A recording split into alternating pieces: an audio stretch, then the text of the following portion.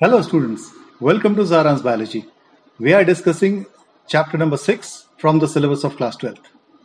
In the previous video, we have seen what is the nature of genetic material, basically the structure of DNA, and also we have seen how the DNA is packaged inside the nucleus in case of prokaryote as well as in case of eukaryote. Now, post-Mendelian, it took lots of years to come to the conclusion that what is the genetic material, the DNA, the RNA, or the protein. Lot of interesting experiments have taken. It all started with Frederick Griffiths in 1928 when he experimented on mice using Streptococcus pneumoniae. And this experiment was built on by every McCarty and MacLeod they characterized the biochemical nature. Then we had Hersey and Chase experiment to seal the fact that DNA is genetic material. आज हम Griffiths experiment और biochemical characterisation के बारे में पढ़ेंगे I am very sure you must be aware about the nature of genetic material little bit of idea of the griffiths experiment and uh, we are going to conclude from the transformation experiment and we should be also be able to uh, write the biochemical nature of the transforming principle. And above all we can conclude that dna is the genetic material. So this is the learning outcome. And the basic understanding you must be having about mendelian genetics chromosomal theory of inheritance, and uh, basic details of the physical structure of DNA. Nevertheless, keep yourself tuned in and you'll be able to understand the fundamental principles involved in every experiment. So, it all started in 1928, Griffith's experiment. Then we moved on to biochemical characterization by Avery McCarty and MacLeod. So, very quickly we move on to this timeline. In 1928, Frederick Griffith conducted an experiment and suggested bacteria are capable of transforming genetic information through a process called as transformation. Not transforming, transferring. How it was done? What was the basic? So, Griffith, in his experimental approach, used two strains of Streptococcus pneumoniae, which infect mice. उन्होंने mice use किया और साथ में bacteria use किया streptococcus pneumoniae. उसकी दो strain थी। Type three S strain जिसे स्मूथ स्ट्रेन कहा गया, और स्मूथ स्ट्रेन इसलिए क्योंकि उस स्ट्रेन के बाहर एक पॉलीसेक्राइड कोट मौजूद है। वो क्या करता है? इस बैक्टीरिया को होस्ट के इम्यून सिस्टम से बचाता है। इट गिव्स अ प्रोटेक्शन और ये बैक्टीरिया होस्ट के इम्यून सिस्टम को स्केप करता है। डिज़ीज़ कॉज करता है and makes the mice dead second one is type two R rough strain इस स्ट्रेन में वो पॉलीसेक्राइड कोड जो है वो एबसेंट है right so immune system of the host is not breached ये पकड़ में आ जाता है और बड़े आसानी से इसे डिस्ट्रॉय कर दिया जाता है।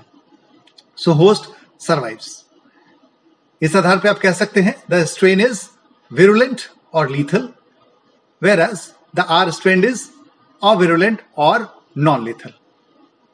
तो एक्सपेरिमेंटल आइडिया ये थी और साथ में उन्होंने यूज़ किया माइस सो so, देखते हैं कैसे उन्होंने किया।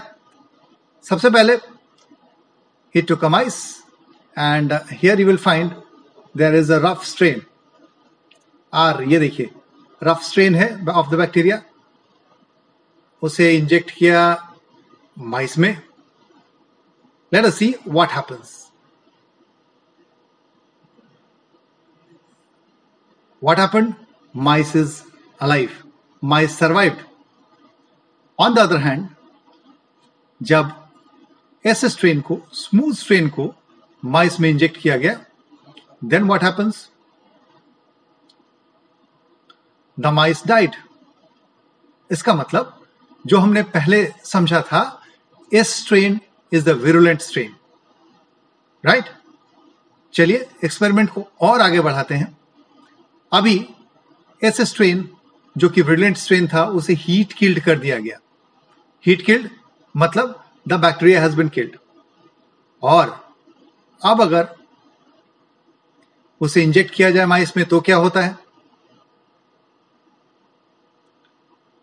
ना will find the mice survives यानी heat killed bacteria is not able to create the disease but ये जो लास्ट स्टेप है, इसे बहुत ध्यान से समझने की कोशिश कीजिएगा।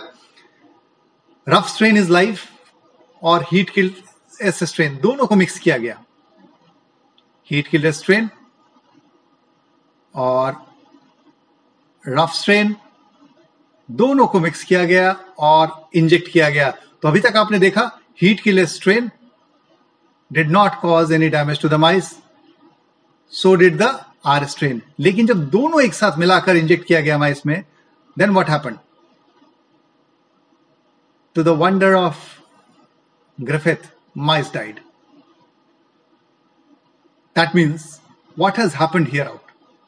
In this series of experiment, he concluded that there is something which transformed the non-virulent bacteria into virulent. So what is that something? Right? First part में आपने देखा S strain mice dies mice alive in case of R strain. Heat killed A strain, mice is alive, but the mixture, mice dies. And their blood contains live pathogenic S strain bacteria strain को तो आपने heat kill कर दिया था. How did it come alive so यहाँ पे एक transformation देखने को मिला. And that's what he called transforming principle right the DNA which was present in the heat kill strain that was taken up by the live R strain and it was transformed into lethal form बहुत important observation है but was any proof could it give substantial concrete evidence that it was DNA only there were some doubts so Griffith experiment क्या outcome या conclusion क्या निकल, निकल के आती है? R strain bacteria somehow been transform by heat killed A strain some transforming principle transferred from heat killed strain and enabled the R strain to synthesize smooth polysaccharide code and become virulent. This must be due to the transfer of genetic material. तो यहाँ एक बात तो बहुत clear हो जाता है ये ट्रांसफ़र जेनेटिक मटेरियल के ट्रांसफ़र के कारण ये ऐसी प्रॉपर्टी आई लेकिन what is the biochemical nature of genetic material this was another question and the world of science is filled with enthusiasts and hard workers who are relentless until they find the solution of the question or solution to the problem. इसके बाद Avery MacLeod और McCarty इन तीन scientist के group ने biochemical characterization पे बहुत experiment किए फ्रॉम 1933 टू 1944 क्योंकि उनसे पहले माना जाता था कि the genetic material was protein so what was done थोड़ा इस एक्सपेरिमेंटल डिज़ाइन को समझने की कोशिश करते हैं। देखिए heat killed S strain I take the pen tool right so इसके अंदर से हमने कुछ चीज़ों को निकाल दिया। किनको निकाल दिया? लिपिड को निकाल दिया कार्बोहाइड्रेट को निकाल दिया। Right so what is left behind protein RNA and DNA इसमें तीन चीज़ें रह गई। प्रोटीन, आरएनए और डीएनए।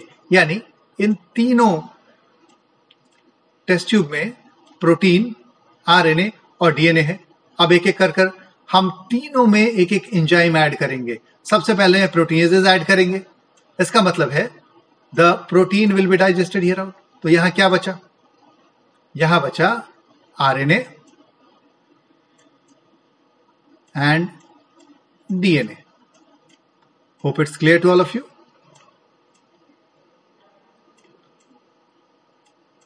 दूसरे में हमने आर यूज़ किया राइबोन्यूक्लियस तो आर एन डाइजेस्ट हो जाएगा तो यहाँ क्या बचा? प्रोटीन और साथ में डीएनए तीसरे में डिऑक्सी राइबोन्यूक्लियस या डीएनए ऐड किया. तो यहाँ पे क्या होगा? यहाँ पे डीएनए मौजूद नहीं होगा यहाँ पे होगा प्रोटीन प्लस आरएनए। अब इन तीनों कल्चर में हमने रफ स्ट्रेन डाला। आर स्ट्रेन डाला। As we have infected the mice with R strain mixture of R strain S strain तो अब इस स्ट्रेन को हमने तीन पार्ट में डिवाइड कर लिया। एक पार्ट में सिर्फ़ आरएनए डीएनए है, कोई प्रोटीन नहीं है। दूसरे में प्रोटीन और डीएनए है, कोई आरएनए नहीं है, और तीसरे में प्रोटीन आरएनए है, कोई डीएनए नहीं है। तो इस एक्सपेरिमेंट में देखा कि जिसमें आरएनए और डीएनए मौजूद है, वहाँ पे आर सेल ट्रांसफॉर्म हो गया, एस सेल में R cell has been transform into S cell. Mark out. यानी यहाँ भी डीएनए मौजूद है, लेकिन आरएनए भी हो सकता है। That can also be a probable cause second one see there is no RNA protein and DNA है। अगेन एस सेल अपियर्ड यानी डीएनए होने के कारण एस एल अपियर हुआ और पहले में प्रोटीन नहीं था, फिर भी अपियर हुआ। तो हमें एक आइडिया मिल जाता है। क्या आइडिया मिल जाता है? कि डीएनए इज़ रिस्पॉन्सिबल लेकिन टू सील दिस फैक्ट तीसरा सैंपल जहाँ पे प्रोटीन और आरएनए है। यानी जो हमारा सस्पेक्ट यहाँ था, प्रोटीन और आरएनए। लेकिन डीएनए नहीं है। Then what happens On addition of the R cell no S cell appeared यानी कोई ट्रांसफॉर्मेशन नहीं हुआ so this gave a clear cut idea that DNA is the genetic material is it not? It's really wonderful. So, the basic experimental design, there's Oswald Avery, Macklin McCarthy, and Colin MacLeod. They purified the biochemicals, protein, DNA, RNA from the heat killed? S-strain क्यों ऐसा किया? Just to see which one could transform the live R strain into S और अपने experiment में उन्हें ये पता चला कि it was the DNA that was alone capable to transform the R strain into S strain so DNA is the hereditary material और जो इन तीनों साइंटिस्ट के से पहले की कॉन्सेप्शन थी कि protein was genetic material that was taken a back seat और उसे पूरी तरीके से नकार दिया गया। So here we see this is what has happen S strain extract polysaccharide destroyed okay mouse dies क्योंकि डीएनए है यहाँ पे लिपिड डिस्ट्रॉयड माउस डाइज क्योंकि डीएनए यहाँ पे आरएनए डिस्ट्रॉयड माउस डाइज क्योंकि डीएनए है already protein destroyed still mice dies क्योंकि डीएनए है बट लास्ट फ़ेज़ में अगर आप सिर्फ़ डीएनए को डिस्ट्रॉय कर दें and then if you inject it in mice mice is alive so simply it negates all the possibility and says DNA is the genetic material so hope you are very much clear with the basic understanding of Griffith and subsequent work of Avery, McCarthy, and MacLeod. So, revisit the concept, read the textbook, and in case of doubt, you can comment or write back to us. Till then, happy reading. Students, keep ahead of your friend by subscribing the channel and hit the bell icon to get notified if there is a new video coming your way.